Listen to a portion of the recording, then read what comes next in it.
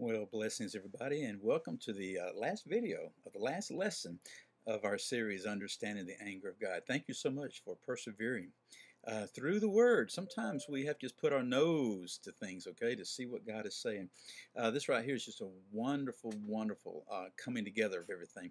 What we see here in the third chapter of Habakkuk uh, is a prayer. So make sure that you read this thing and meditate upon it. It's actually called a shigionoth. And this is a term that you will see in the Psalms uh, quite frequently. And a lot of times we're not quite sure what these terms mean, but generally speaking, we think it's a psalm that is sung with enthusiasm, with passion. Okay? And it was a song or prayer for a choir director, usually accompanied by a stringed instrument. This gives us a little hint that perhaps Habakkuk might have been a Levite. We simply don't know. But we know that he lifted up this prayer, this song to the Lord. In our um, homework, you also did some uh, paralleling some scripture passages, and we saw in Exodus 15 with Moses' song that is quite similar to this one. Both of these songs, both of these prayers, exalt God entirely and completely. The focus is upon the Lord. And it's interesting because both songs are about the wrath and the judgment of God. Now, Habakkuk had heard the report, the vision that God had given him, and he feared because he knew what was happening. Now, all three chapters are the vision, and the Lord told him, I want you to record these things and I want you to share them. Okay? And so there's some interesting dynamics here of how uh, Habakkuk responded to a vision with this prayer. So he petitioned the Lord, and here are the things that we see. He said, Lord, revive your work in the midst of the years, make it known. Habakkuk knew that the Chaldeans were coming. He knew that God was going to use them for judgment. And he wanted God to revive his work, his work of correction.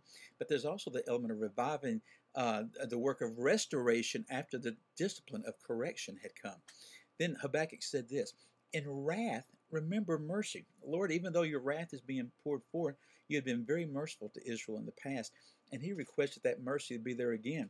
We know this is definitely true after the correction, after the wrath, but perhaps it's even true during the wrath that mercy would be there.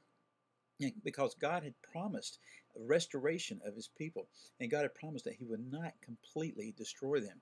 Uh, in verses 3 through 15, we learn a lot about God right here. Just some key words. We learn about his glory, his power, his sovereignty over creation, his judgment, his wrath, his salvation, about his everlasting ways and his magnificence and his holiness. So Habakkuk's prayer was based on knowing God. He knew all these things about God. And this must be the same way with us. Uh, we need to base all of our prayer, our entire life, on that which we know about God. And you say, Well, I don't know that much about God. Then seek Him, He shall be found. Okay? Learn, experience. As Habakkuk did, we must live by faith. He trembled, yet he was confident in God's will and what God's purpose was. He would wait, submitted to the Lord.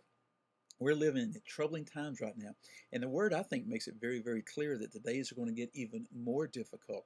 And so we need to do the same thing wait upon the Lord, submit to Him, and trust in Him. Uh, again, I'm Dale from the Precept classes in Cullman, Alabama. I'll see you again for the next course.